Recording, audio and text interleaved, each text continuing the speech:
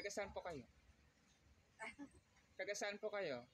Yung ano, matagal na kayo nagtitinda ng ganito? Opo, matagal na rin po. Yung ganito? Opo, matagal. Saan po nanggagaling ganito? Yung po y- Yung ano, matagal na kayo nagtitinda ng ganito? Opo, matagal na rin po.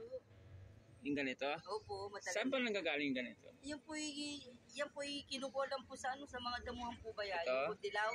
Opo. Yung po ilang ilay sa puno. Yung ilang ilang. Taga rito po kayo?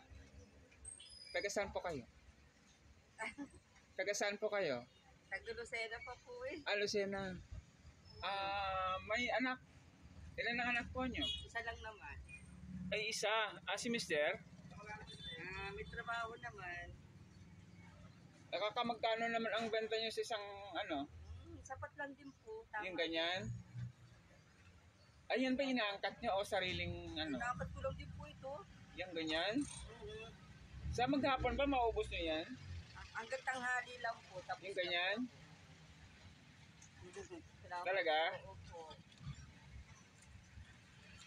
Yung dalawa, magkano po? Bali po. Ha? Opo. 40. Opo. Oh, sige. Salamat po. Sa inyo na lang po yung Oh. musukli. Salamat po.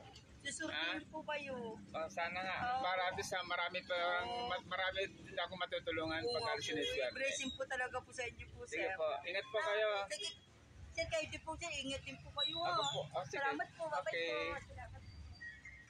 Yun. Thank you.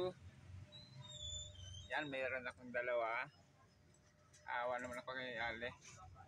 Dahil ah, yun ang kanyang hanap buhay. So, kahit pa paano, kahit may konting tulong kahit pa paano, di ba?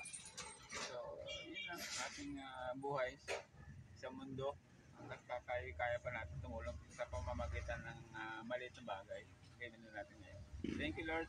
Sana uh, pagmalayan tayo sa araw-araw para at sa uh, kung anumang blessing is uh, may share naman natin sa iba.